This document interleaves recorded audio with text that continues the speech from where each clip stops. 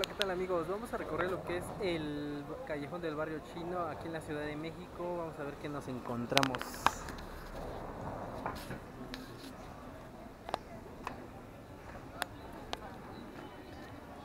Bueno, vamos a caminar de este lado. Ya saben que siempre encontramos cosas aquí en la Ciudad de México. Y bueno, aquí es este la calle de lo que es todo lo de China. Muñequitos, comida china, y pues tiene este ambiente algo pues oriental, restaurantes, eh, ahí están las bolitas de Kung Fu Panda. Y pues aquí ahí está una buena opción para que vengas a los buffets de comida que realmente están muy buenos. Entonces pues comida de Kung Fu.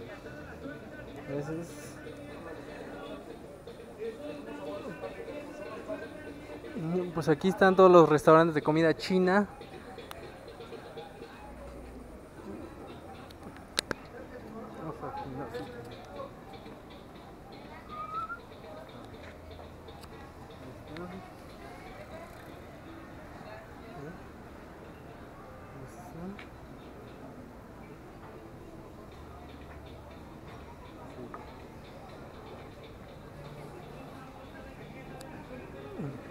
Pues sí, aquí de este lado pues encontramos muchos restaurantes de comida china que están buenísimos. De YouTube. Aquí hay muchos restaurantes. Sí, sí, pues la comida yo creo que está bastante accesible, 135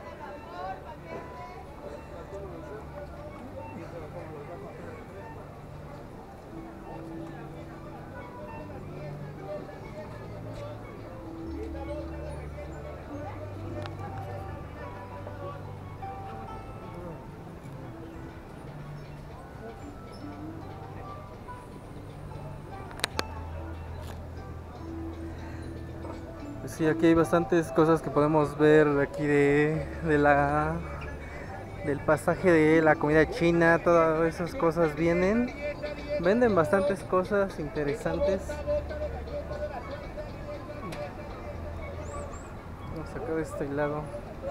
Es una buena opción para que vengan aquí a caminar. Está de luego aquí derechito en la calle de... ¿Cómo se llama esta calle? Ya tiene el nombre ahí en la esquina, pero está en la de calle Independencia con la avenida de ¿qué? calle de Dolores. Aquí se encuentra lo que es el barrio chino de la Ciudad de México. Y pues vamos a terminar este pequeño video que les hicimos acá de este lado. Pues yo creo que vamos a volver a caminar por este lado para que más o menos se ubiquen y pues puedan venir un día aquí a la Ciudad de México.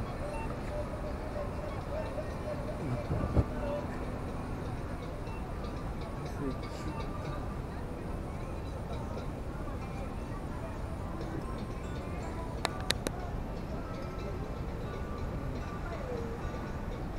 están todos los restaurantes de comida china.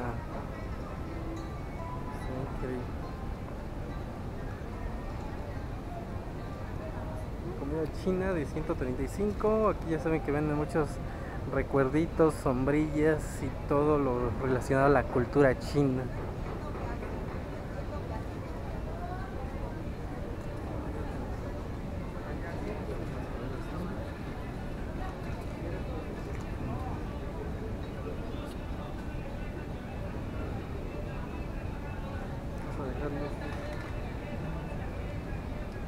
Bueno, aquí terminamos este pequeño video que recorrimos aquí en la Ciudad de México, lo que es en la calle de donde está todo lo de la comida china, la referente a la cultura oriental